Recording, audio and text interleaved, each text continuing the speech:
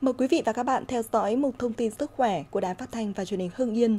Thưa quý vị và các bạn, đối với những người mắc bệnh cảm cúm, một bát cháo với các gia vị quen thuộc trong căn bếp như hành, tía tô, gừng, trứng gà không chỉ dễ tiêu hóa mà còn là vị thuốc hiệu quả phòng chống căn bệnh này.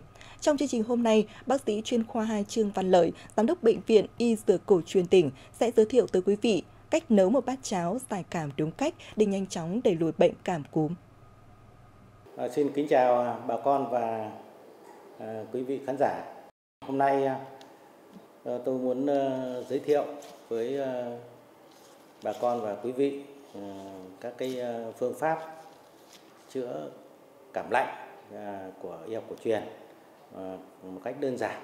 À, sử dụng các cái à, thuốc nam thông thường à, tại gia đình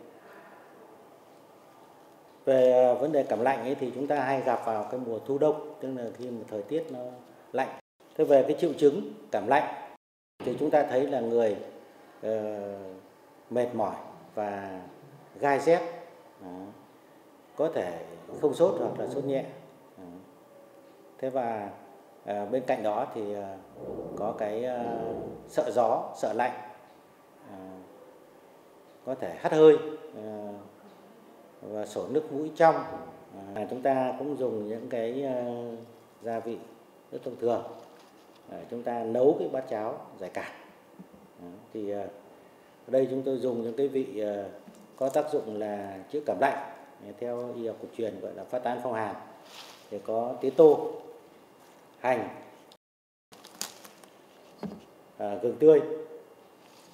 À, thế và ta dùng cả hành khô đó, cho nó cái tác dụng phát tán nó mạnh hơn.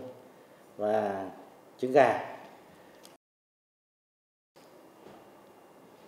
Thế thì à, và chúng ta có gạo có muối. Thế thì cách làm là chúng ta uh, cho gạo uh, một nắm nhỏ thôi. Đấy, chỉ chỉ một nắm nhỏ. Đấy.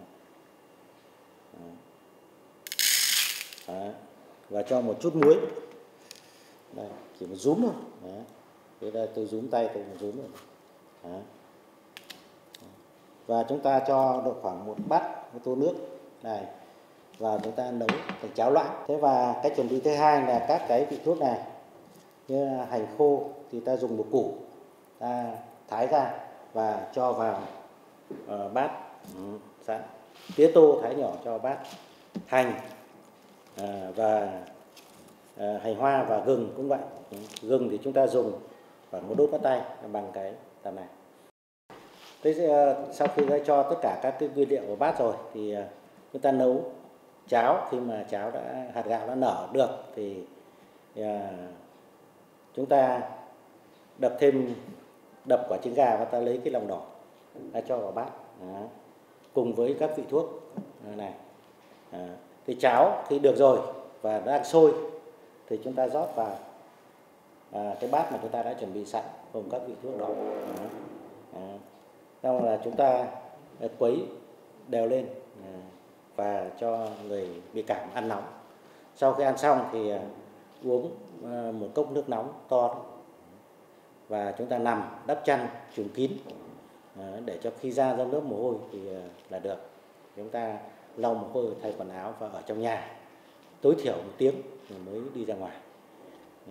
À, cái cảm lạnh thì chúng ta là, chắc chắn là phải kiêng rồi chúng ta là phải uh, giữ ấm cơ thể không được để tiếp tục uh, uh, bị gió lùa gió lạnh. Thế rồi không tắm lạnh. Thì chúng ta sẽ cảm lạnh nặng hơn thôi đúng không thì kiêng những thứ đó và ăn uống thì khi mà bị à, cảm lạnh thì ta không ăn những cái đồ lạnh.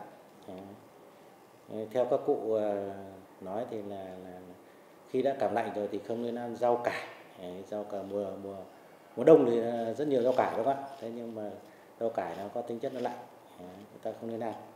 Thế và khi kể cả chúng ta ăn trong bữa cơm hàng ngày này nếu rau cải luộc hay cải xào thì chúng ta nên cho thêm gừng kể cả cải xanh cải canh hoặc là cải bắp thì đều nên cho thêm ờ, vài nhát gừng để cho nó, ờ, nó, nó nó giảm cái lạnh của cái thực phẩm cái rau đó đi Quý vị và các bạn thân mến, chương trình ngày mai sẽ là thông tin nguyên nhân gây tình trạng chảy máu nếu tăng Mời quý vị và các bạn cùng chú ý theo dõi.